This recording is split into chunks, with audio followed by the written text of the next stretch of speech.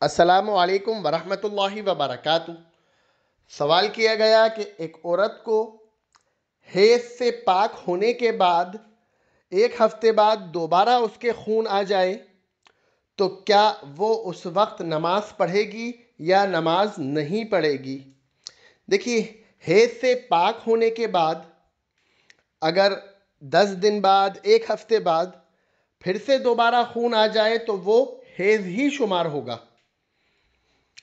شیخ عثیمین رحمۃ اللہ علیہ سے یہی سوال کیا گیا کہ ایک عورت کو پہلی ماہواری کے نو دن بعد دوبارہ ماہواری کا خون آنا شروع ہو گیا تو اس کا کیا حکم ہوئی؟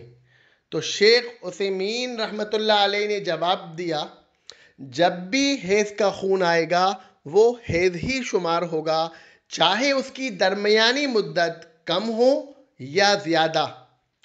اس لیے عورت کو حیض کے پانچ یا چھ دن بعد یا دس دن بعد دوبارہ خون آئے گا تو وہ نماز ترک کرے گی، وہ نماز نہیں پڑھے گی کیونکہ یہ حیض ہی ہے۔ اور اسی طرح جب بھی اس کو حیض آئے گا، وہ نماز نہیں پڑھے گی۔ تو اگر کسی عورت کو حیض سے پاک ہونے کے بعد دوبارہ خون آتا ہے اور اس کی مدت ایک ہفتے کی ہوتی ہے، پانچ دن کی ہوتی ہے یا دس دن کی ہوتی ہے، اس سے کوئی حرج نہیں ہے، وہ حید ہی شمار ہوگا، وہ اس وقت بھی نماز نہیں پڑھے گی۔ واخر دعوانا ان الحمد للہ رب العالمین۔